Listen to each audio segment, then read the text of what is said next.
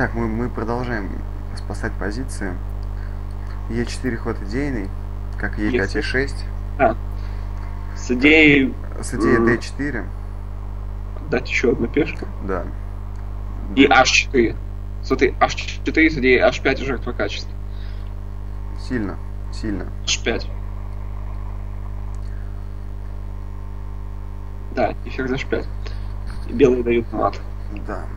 Путем слон D3. И ферзь H4, потом слон G5 и мат. Вот можно играть примерно так вот на этом уровне. Все равно слон G4. Не-не, что ты делаешь? Это другой Ой, слон. ой, ой. Вот он. Вот он. Не обращайте внимания, Кирилл. Болен. Температура. Так, это... Бьет на F6. Стоп. Стоп. Это- Этого парня нам не жалко?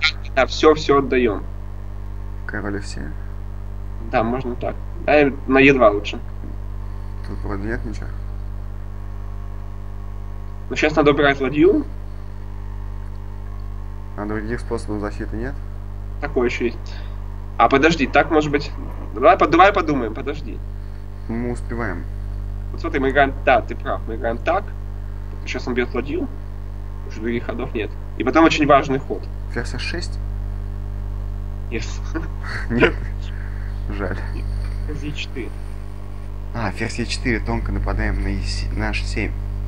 Все заканчивается. И партия действительно закончилась, да? Да. Автомат. Кстати, красивая партия. Да, неплохая. Мат. При А, поле. Кстати, На Е8 уходит. кто выиграет. И нам все равно белый, конечно, выиграл, наверное. Может быть и нет, кстати, фигур много у черных. Ну не, не знаю, такая атака должна выигрывать. Шах. Взяли.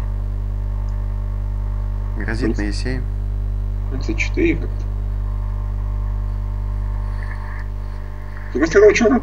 А, так на ладье 8 еще слон g6. Ну, да. Не, ну, наверное, выиграл у белых. Это только мы можем так королем бегать. Наш соперников это не разрешено. Можно пока посмотреть информацию. Так что давайте, ребята, повторим идею. Е4, Е5, Е6 это гамбит. Да, обратите внимание, затормаживается развитие монопольного слона у черных. Чтобы идея H4 выигрывала в силе. После DE мне кажется, что мы D4 год не точно, надо играть H4 сразу, скорее всего.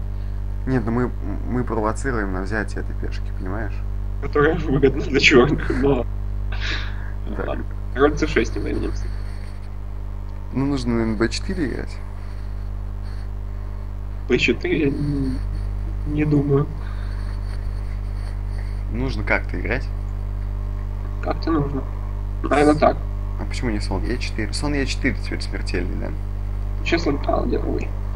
Тут просто мат. Итак, давайте покажем нашим зрителям основные идеи этого дебюта. Как мы его назовем? Мы назовем его Прорыв бешеной пешки. «Повержение защиты перцев яйцом». Специально для Петра Андреева. Да. Итак, э, как только против вас вторым ходом пошли G6, недолго думаем Е5, слон Да, G7, и- Е6. Некоторые слабые шахматисты играют здесь H4 вместо E5, но E5 это, безусловно, сильнейшая редакция, потому что слон не может подключиться на G4. Теперь Да. DE ход практически вынужден. И, вот я по-прежнему считаю, что мы должны играть H4, но D4 тоже заслуживает внимания. Ну, одно из самых популярных разветвлений, из Потому разв- что- разветвлений этого варианта.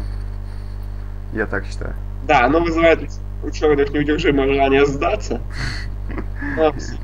Отважные соперники сыграют конь F6 2 0 и вот получат мат по по схеме. Это интересно, была же здесь защита? Ну, тут понятно, что у черных получится. Веро- Вероятно, была. А, кстати, мы, то есть, оценка позиций.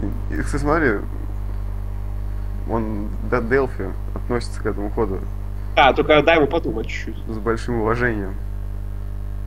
Сейчас он подумает, и он прозреет. Подожди, вот, подожди чуть-чуть в формате этого ролика.